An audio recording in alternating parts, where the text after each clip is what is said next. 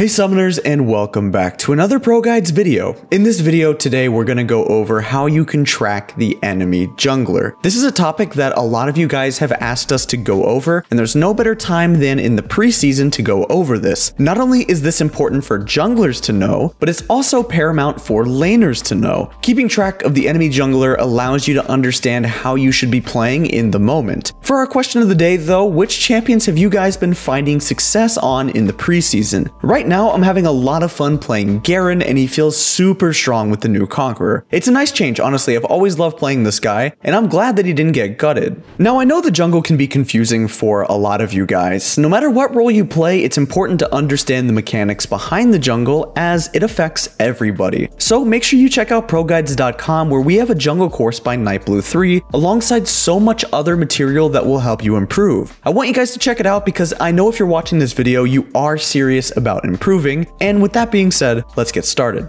Before we even get into talking about jungle tracking, I have a pretty big suggestion for you guys. Personally, I believe that even if you're not a jungle main, you should be playing some jungle games if you really want to improve at League. Even if it's just normals with friends or on a smurf, playing the role and understanding this role is universally beneficial. Every lane needs to interact with a jungler at some point, so understanding how it plays out firsthand from that perspective will give you a better idea of what they might need from you you. After playing a new role for a bit, it also makes it easier to understand not only how a jungler will want to play, but what it feels like to be in their shoes. Alright, so what is jungle tracking? Let's talk about it. The term itself is pretty self-explanatory. It's just keeping track of the enemy jungler and being able to infer their current position on the map. This, however, is one of the hardest tasks to accomplish in League of Legends, and you honestly don't even need to do this perfectly in order to win your games. However, you should still be able to apply it to some extent, otherwise you'll probably end up getting camped and find that you could have avoided many unnecessary deaths. Especially in higher elo and professional play, you will see jungle tracking as something that pretty much everybody is going to use. Just tracking the jungler alone doesn't do anything, but at the end of the day, the reason that you do it is to gather information.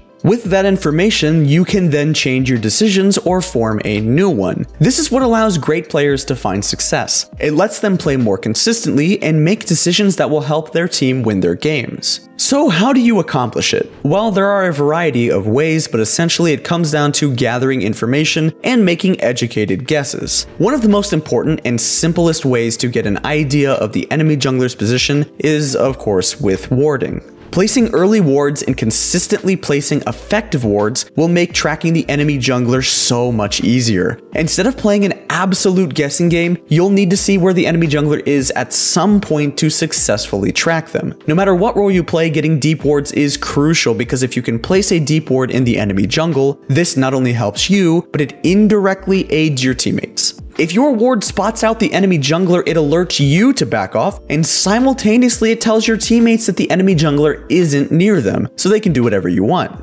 Some easy wards are in spots that can spot out the raptor and wolf camps. Since these camps are closer to the center of the map, it's much more likely that junglers will farm them in between the ganks. The other part of jungle tracking is honestly a guessing game, but it's just like they taught us in school. There's a difference between randomly taking guesses and making an educated guess based off of information. We heavily suggest taking those educated ones, by the way. If you had previous vision of the enemy jungler, this will help you infer where they might go. Where they arrive from and where they walk towards really tells you a lot. If you see the enemy jungler farming raptors on a ward, and then they path towards the opposite side of their jungle, you'll likely know that they are either full clearing or looking for a gank on that side of the map, for example. Another factor to consider is their specific champions. Certain champions actually have specific routes that they would rather take over others. Efficiency and playing optimally is simply the highest percentage play, and at the same time, it also makes somebody more predictable.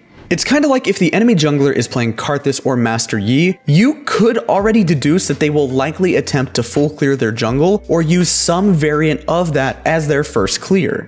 Something else to consider is how strong an enemy champion's ganks are. If they have laners that can set them up very easily, like a Malphite for example, there's going to be a higher chance that they will deviate from their jungle pathing and go for a gank. If you have a strong understanding of jungle routes and which champions use specific ones, it can only help you. So make sure to check out one of our other videos where we go over a lot of popular routes that are being used this season. The hardest part of tracking junglers is when you have zero vision. It's an inevitable part of the game though as you can't always spot them out with your wards. You'll always need to be taking into consideration what the enemy jungler's next move is, primarily when you're playing jungle yourself, but also if you are a laner. For example's sake, let's say that the enemy jungler cleared their three topside camps and then immediately ganked your top laner, picking up a kill. Meanwhile, you or your team's jungler started on the bottom side of the map. From there, you need to immediately turn your attention to the mid lane. If the enemy mid laner has priority, you should know that the best play for the enemy jungler is to try and invade your topside jungle since their solo laners have priority.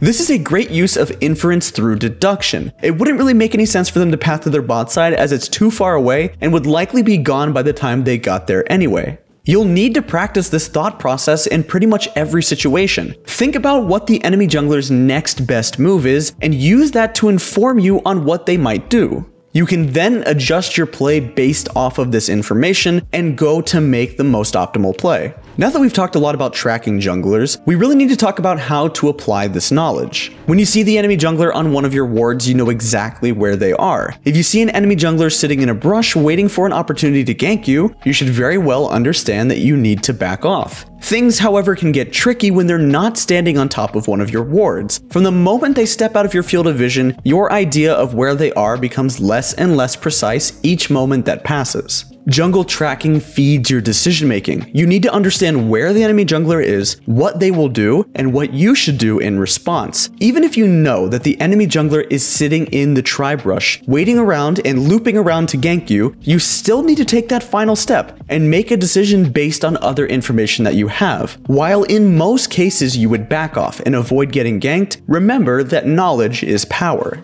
Maybe in this case, the scenario is that you're about to hit level 6 and can 2v1 or 3v2 that gank. You'll want to keep an eye on the wave and try to bait your opponent into trading with you. From there, you'll simultaneously take that fight while also hitting the minions for level 6 and then unlocking your ultimate. Maybe you know that your jungler is sitting right behind you and you want to force your opponents to commit and turn the fight around. You'll play aggressively and bait your opponents into wasting their abilities, especially ones that provide mobility. Once it's too late to back out, your jungler can jump in and help you pick up some free kills. Maybe you know that you can survive and lose nothing for letting your opponent gank you. They will commit and you'll walk away with your life, unscathed.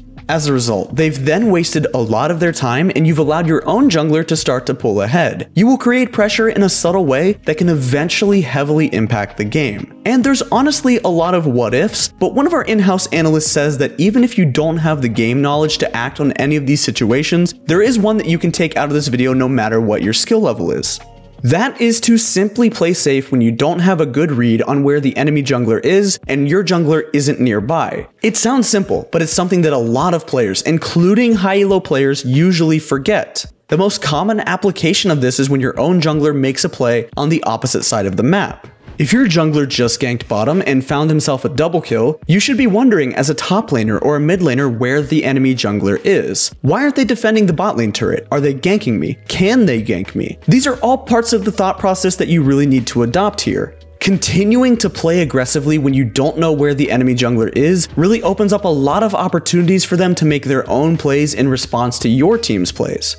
Another thing to consider is that you can only make decisions when you spot a jungler ganking your own lane. You also need to use any information you can gather when they're further away or even on the opposite side of the map. If the enemy jungler is clearing their jungle towards you, you can't just randomly take a trade. If you take a bad trade, it opens up the possibility for a dive, so the intelligent thing to do would be to instead stay very healthy and manage the wave in a way where you won't be susceptible to a gank. One of the most effective defensive tactics is prevention. Now, as a jungler, your role is a little bit more nuanced. Ultimately, with any play, you have the final call. Especially because you won't always be in a position to immediately match a play, you need to constantly take into consideration what your options are. For example, your bottom lane gets ganked, but you're on the top side of the map. And as much as you'd like to be there to help them 3v3, you physically can't because, well, you're not there. In this specific scenario, you have to consider the possible options, which are things like walk into the enemy jungle and steal their camps, gank mid, take Rift Herald, or gank top. Based off of what information you do have, as well as the current state of your lanes, you need to make the best call within seconds. You always want to take the most rewarding play that's possible, and in most cases, the most rewarding play follows this order. Successfully ganking a lane, taking a neutral objective, counter jungling, and deep warding.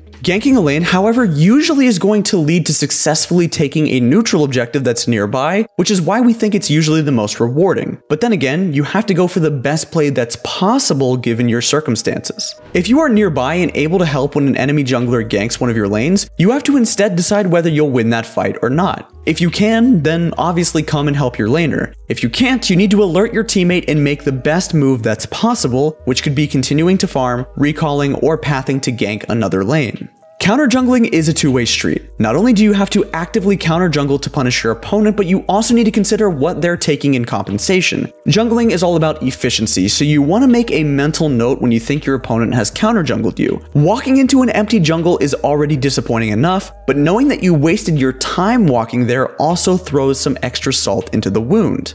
Instead, if you know that you've been counter jungled, walk somewhere else, or at least don't waste your time checking camps that you know are gone. Alright, that was a lot of information, so let's recap. Jungle tracking is one of the most important aspects of the game. Junglers have a lot of influence over the game, so you'll need to be able to pinpoint their position whenever possible. The ways that you can go about this is through wards as well as using deduction skills in order to infer their location. Then, once you have this information, you need to constantly reassess your decisions and continue to adjust them based on what you think the jungler's next move is going to be. Whether you're a laner or a jungler, it doesn't really matter, as there are plenty of decisions you have to make which we covered in the video. That concludes this video, thank you guys very much for watching. If you want to see more content like this or a ton of helpful content related to gameplay, check out our YouTube channel as well as ProGuides.com where we've teamed up with professional players to design the best content to help you improve. Good luck on the Rift, and we hope to see you all next time.